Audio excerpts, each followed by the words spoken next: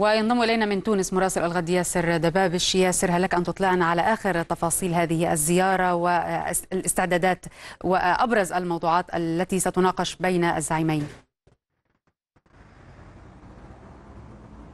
نعم سينار من المتوقع أن يصل العاهل الأردني عبد الله الثاني تونس خلال ساعات في إطار زيارة رسمية بعد توجيه دعوة له من الرئيس التونسي الباجي قائد السبسي. الاستعدادات الرسمية على قدم وساق الشوارع التونسية زينت بالأعلام الأردنية والتونسية تزامنا مع الذكرى الستين للعلاقات الدبلوماسية ما بين البلدين الملفات التي ستطرح على الطاولة العلاقات الثنائية بين البلدين تعزيز التعاون الثنائي والمشترك في عدة ملفات في الجوانب الاقتصادية وربما حتى الأمنية ومجابهة الإرهاب. عدد من المتابعين للشأن السياسي والداخلي أيضا تحدثوا على الملفات الإقليمية وما يدور في المنطقة العربية سيما القضية الفلسطينية وكذلك الحال الوضع في ليبيا وسوريا وحتى اليمن. نحن نتحدث عن هذا هذه الزيارة الأولى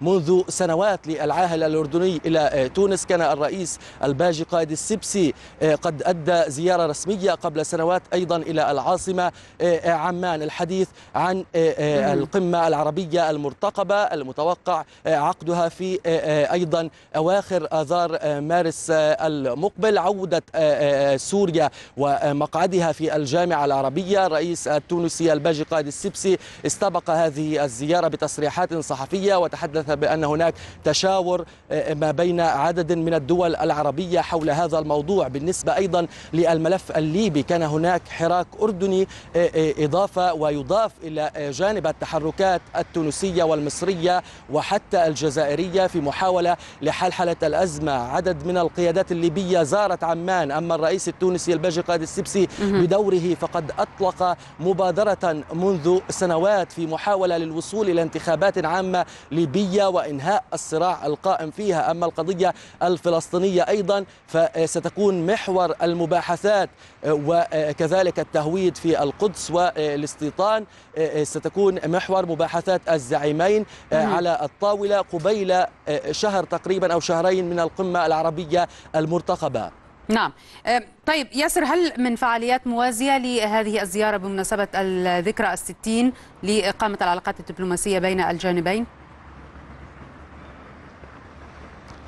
بالتأكيد هناك عدة احتفاءات. ستكون ما بين الزعيمين بحضور كبار المسؤولين من الجانبين الأردني والتونسي. هذه الزيارة تستمر اليوم واحد ويرافق خلالها الملك الأردني عقيلته الملكة رانيا وعدد كبير من المسؤولين الأردنيين. وزير الخارجية الأردني قبل تقريبا شهر ونصف كان في تونس وتم التباحث مع نظيره التونسي خميس الجهناوي حول العلاقات الثنائية ما بين البلدين والملفات المشتركة وسبل تعزيز التعاون بين عمان وتونس. نعم إذا ياسر دبابش مراسل الغد من تونس شكرا جزيلا لك.